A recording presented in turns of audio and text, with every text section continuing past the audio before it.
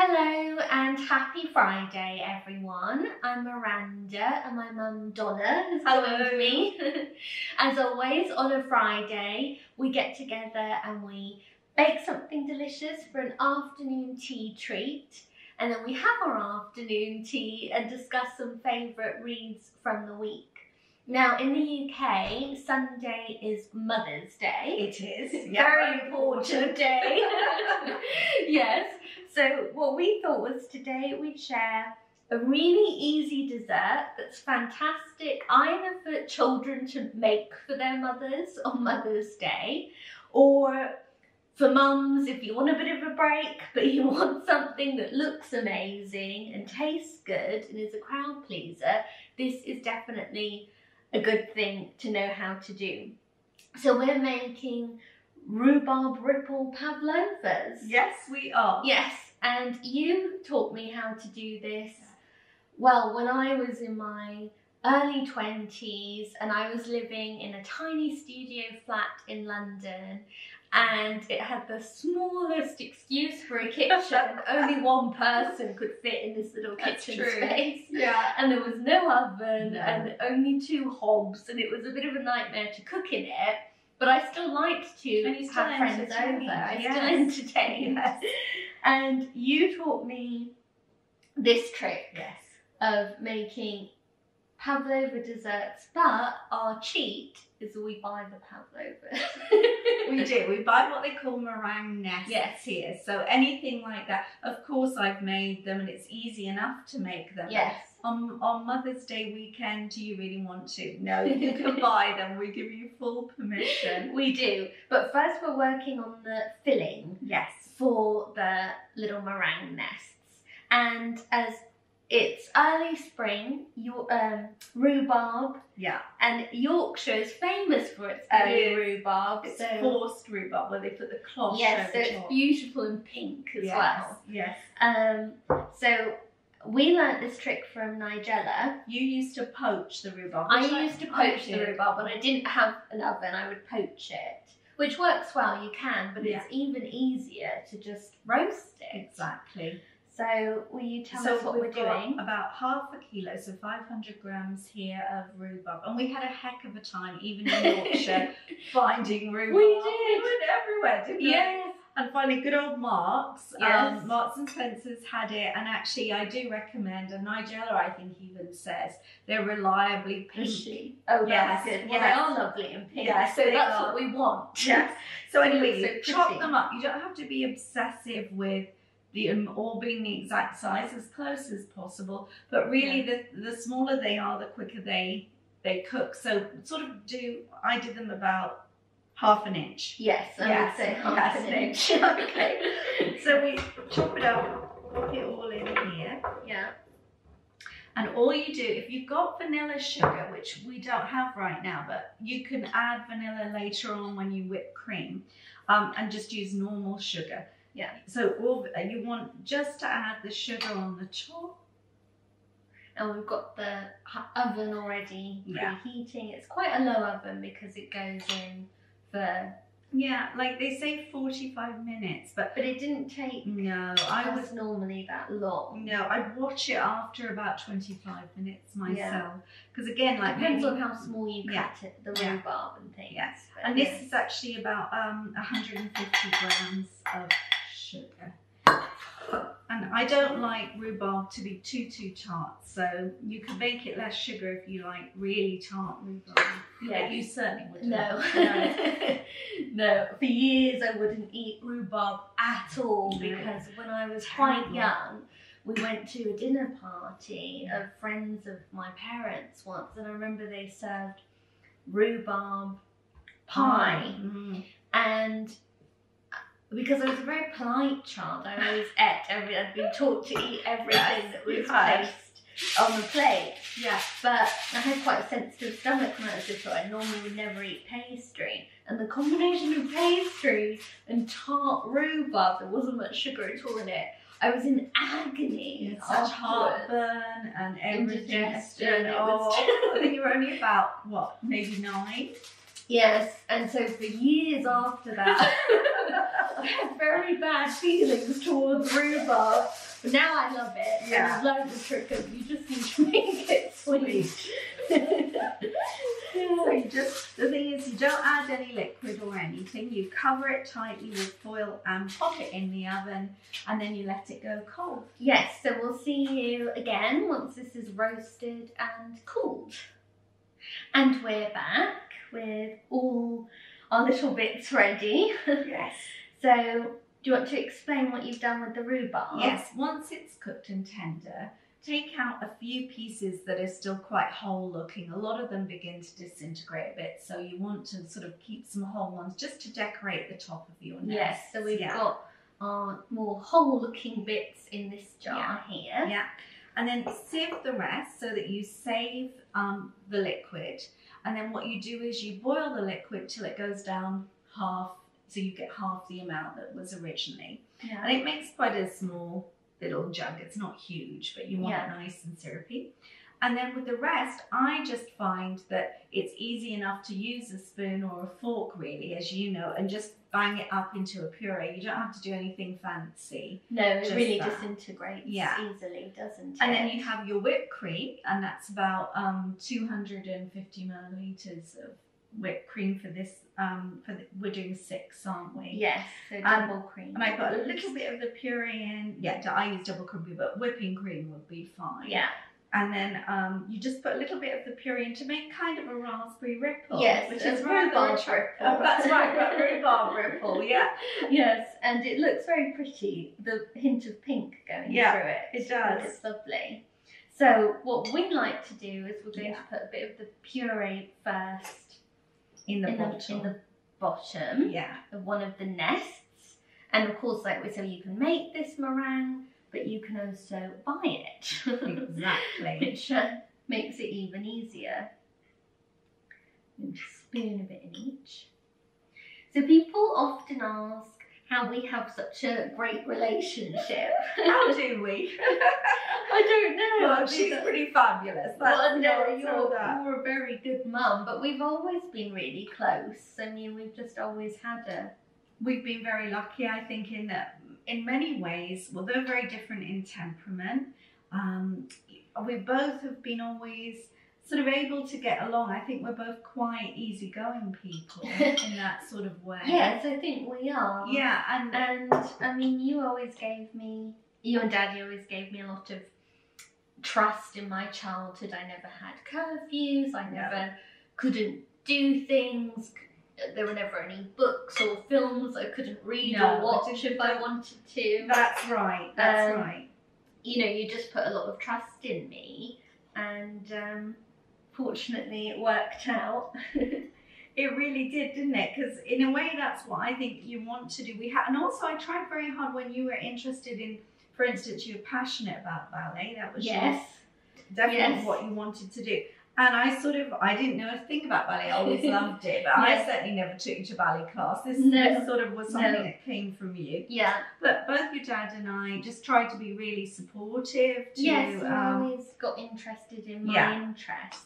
Yeah, but so- you you let me develop my own exactly. interests. And then of course Yes. we did homeschool for many years. well, yes, that's right. And I remember saying to you, you know, because you really begged to be homeschooled. You remember you were so upset because you thought um, that basically you weren't learning anything in school. They always put you next to the naughtiest boy, often in the middle of two of the naughtiest boys. I still remember Brandon. Yeah, the name. Is that, is that the name in When Harry Met Sally? Is it a Brandon that he says? Oh, yes. Not, Is not, it? not a favourite It's not a good name. That's very true. Because I always got placed next to the naughtiest boy Yeah, in the class. and they'd sort of had this thing at that time that. So I think what we'll do first is put the oh yes. little ones on. Have you got Yeah. another spoon? Um, so that really, I think you would finish all your work, read a book. You get through almost a whole chapter book in a day. you Yes. know? Yes. And as ballet got more demanding and you were having many, many classes, Yes. it, it became apparent it'd be much easier if you were actually home tutored, really. Oh, yeah. Okay. Um, And so that Yes. was actually a lot of fun. But I remember saying to It look, we're going to have to get on. I'm not going to be nagging you and arguing you with you. You've got to do the work, otherwise you go back to school. That's my rule on it. And you were certainly much, but we had the idea too that I'll put a little bit more. All right, I'll put one more on then. Okay, Uh, maybe that one. well, Wherever you think. I think I'll put it. Yeah. In that one. And I think, you know, this was it. it. We were in it together. We wanted to still have very pleasant days. Yes, Do you we want to did. sprinkle the, the nuts over the Yes, top? These are chopped my finger. pistachio. Think Yes, we've got some chopped pistachio because Yeah. pink and green always look so They pretty, do. And it's, it? I actually really love pistachio. Yes. Yeah. Yeah, me too. So But you know, it's like so we, we really had to make it work, and that that did. It really worked brilliantly. yes, We sort of got up very early. yes, You started schoolwork at six a.m. You were always much more of a morning person for writing and mm-hmm. doing. And I always like made that. the tea. she always made the tea. She's a good I girl, even then. always got up first. And she'd be standing at the door for when it's time to leave for ballet. You'd have my keys, my handbag, Yeah, my coffee glasses, to go. coffee to go. She'd Yeah. have it all lined up because I, 'Cause I, I'm I'm the organised, Punctual ready on one. time one. I'm always late and can never Yeah. find my keys. So. yeah. And then just this is the syrup. Then do you want to pour just a teeny tiny bit? You might even want to use a spoon yes, because it can I'll gush a bit, can't it? Yes, Just because you don't want too much, but just no, to just make a it look pretty. Exactly. And this actually is delicious with um, some sparkling wine. oh yes, it is. Prosecco or something, Yes, it's yes. so nice to put a bit of this in the bottom Bottom. of the glass Mm. and top it up with prosecco. Yeah. And if you have a little piece of poached or whole rhubarb, Yeah. uh, roasted rhubarb, just pop it in the glass. It's so nice. too, And and it's so got nice. if you've got children, they can have it with sparkling water and Yes. feel very grown up with that. Yes. So that looks lovely, doesn't it? just looks so pretty, Mm. doesn't it? I think Yeah. it does look beautiful and so easy to do, as you can see. Pretty much just assembly job, but they look stunning. I think lovely for a Mother's Day I afternoon tea too, I do too. We've got enough left to I saved for a couple for Mother's Day. yes. Yeah, because I cut some some nests back. Yes, Yes. you did. you won't be deprived No. of the day. But it's time for our tea now. I'm looking forward to that. Me too. And we're back, ready for our beautiful looking tea. It I does look lovely, say. doesn't it? It's so pretty. I love the pink and white and green. I think that just looks spectacular. It really looks very Mother's Day-ish. It does. Yeah. Well, Yeah. let's try a little Okay. bit. Thank you.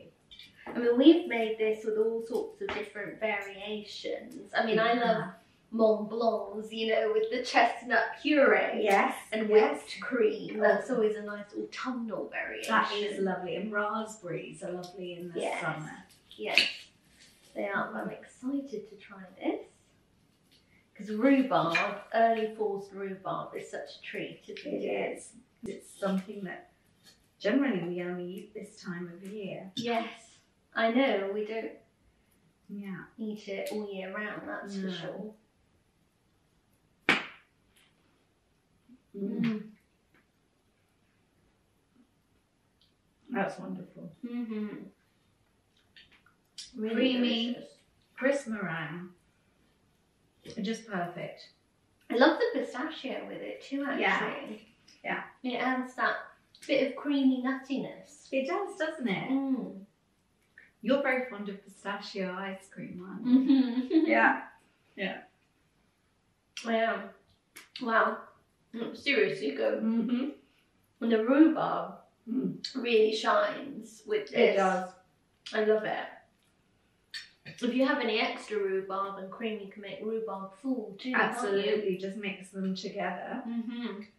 That would be delicious as well. That's a good tea. I don't blame you. Lovely. Oh, what a lovely afternoon. Yes. This is the life. It's been a slightly busy, less busy week for you this yes. week, Yes. which has been nice actually. It has been very nice. Yeah. Yes. bit less manic. but we've chosen some Mother's Day inspired reads. We have. mainly poetry, I think. From me, it's I think all poetry this week. Oh, lovely. Well, do you want to start? I will.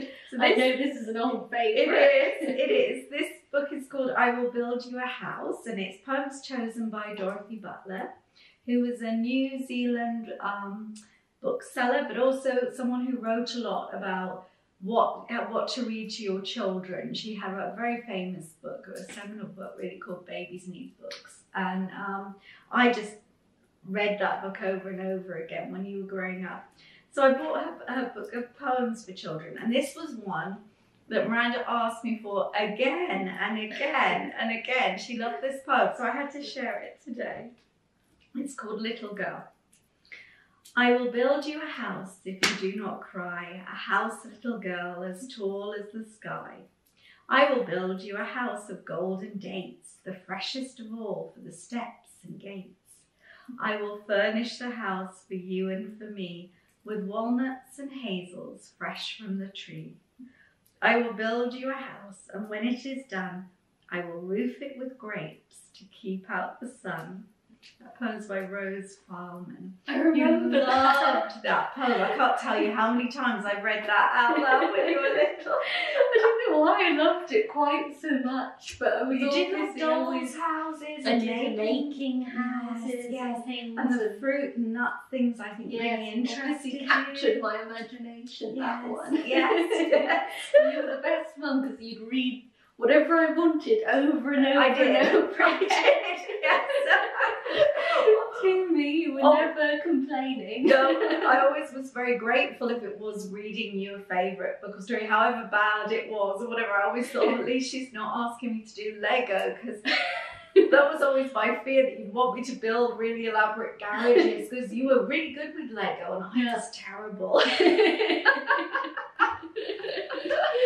you must have instinctively known. I must have. Yeah, yeah. Well, I've chosen a poem from this lovely book of poetry. It's called Motherhood Poems About Mothers. And it's the Everyman's Library Pocket Poets series. They're beautiful. They are, and Mm. It's got lovely categories in this. It's mother and baby, mother and daughter, mother and son, my mother, my grandmother, and absence and loss. So it explores very different types of motherhood and Yeah. very different themes. But I've chosen one by Christina Rossetti that's really a sonnet to her mother. And it goes, To my first love, my mother. Sonnets are full of love, and this my tome has many sonnets. So here now shall be one sonnet more, a love sonnet from me to her whose heart is my heart's quiet home. To my first love, my mother, on whose knee I learnt love law that is not troublesome, whose service is my special dignity, and she my lodestar while I go and come.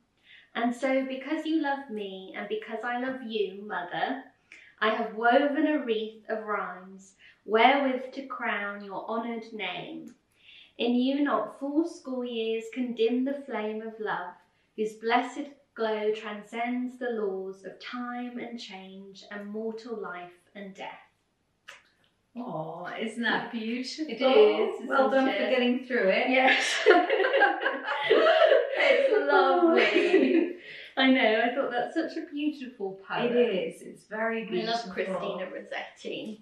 Four score, so that would be 80, wouldn't No, 60, would it? How many's in the score?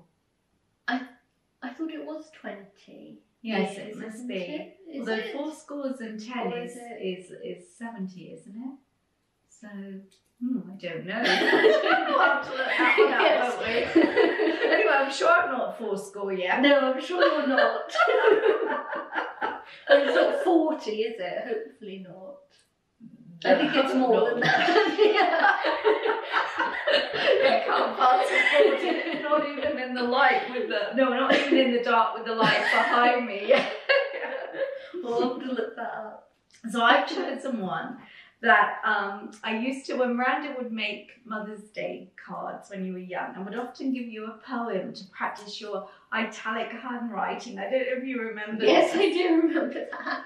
And when I was um, teaching and, and uh, in, in Geneva, like one of the things I learned um, is that children really love to copy out poems. So this was a favourite one for Mother's Day cards. So I'll read it. Spring goeth all in white. By Robert Bridges. Spring goeth all in white, crowned with milk white May. In fleecy flocks of light o'er heaven the white clouds stray. White butterflies in the air, white daisies prank the ground. The cherry and hoary pear scatter their snow around.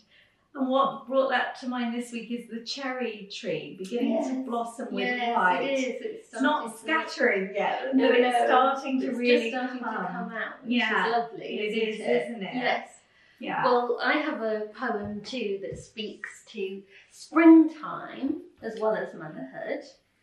And it is in the beautiful Spring mm. Anthology by, what's edited by Melissa Harrison.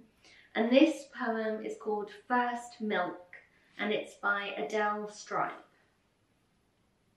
Today I carried a newborn lamb hung by his hooves over the, over the farm gate into the deep straw manger I had made. And there I made my first mistake. I named him. Hello, Waldorf, I whispered, and sprayed blue paint on his woolly, on his wet woolly back, still steaming in the cold March air. In the next makeshift bed, pallets were bound with old twine rope, nets of hay hung from a rust hook, and Waldorf's mother bleated for him. I crept up behind the ewe, rolled her onto her back, and pulled at the sore, swollen teats until they fired hot, savage spurts of colostrum into my Pyrex jar. With my plastic syringe, I dribbled the first milk onto my wrist and gripped Waldorf between my legs, headlocking him until he gagged from my surrogate pipe. I wrapped him in a muddy blanket di- dipped iodine on his umbilical cord, held him close, my triplet runt, and pretended my heartbeat would send him to sleep. Oh, that's lovely, isn't it? It is, isn't it? Oh, that's. I mean, that's appropriate for this time of year Yes, too. exactly. Not Yeah. that we've been seeing lambs yet. No, but soon I think. Yes. Yes, yes, yeah. Hopefully. Yeah. And then your last one. Yeah. This was a new one to me. It's from the book Ode to Childhood, Poetry to Celebrate the Child, which I love. It's another Batsford version, and this one's called Catrin, and it's by Gillian Clarke. I can remember you, child, as I stood in a hot white room at the window, watching the people and cars taking turn at the traffic lights. I can remember you, our first fierce confrontation, the tight red rope of love which we both fought over. It was a square environmental blank, disinfected of paintings or toys. I wrote all over the walls with my words, coloured the clean squares with the wild, tender circles of our struggle to become separate. We want, we shouted, to be two, to be ourselves. Neither won nor lost the struggle. In the glass tank, clouded with feelings which changed us both. Still, I am fighting you off as you stand there with your straight, strong, long brown hair and your rosy, defiant glare, bringing up from the heart's pool that old rope, tightening about my life, trailing love and conflict. As you ask, may you skate in the dark for one more hour. I love that. I think the dilemma of you know trying to be a good mum, of being protective, but but also trying to let go. Mm. To you know, Yes. acknowledging the otherness and giving you space and all that. All those times you wanted to go biking, and I'd be oh, that's fine. And then I'd be like creeping around to peek through the gate that you were okay and everything. You're trying to hide that, trying to let go. I think that's a real mother's dilemma, don't you? Yes, I Yeah. can imagine that. well, my last choice is this lovely book Wow. called Admiral's Walk by Kitty Barne. Which we both read when you Yes, yes, Yeah, exactly.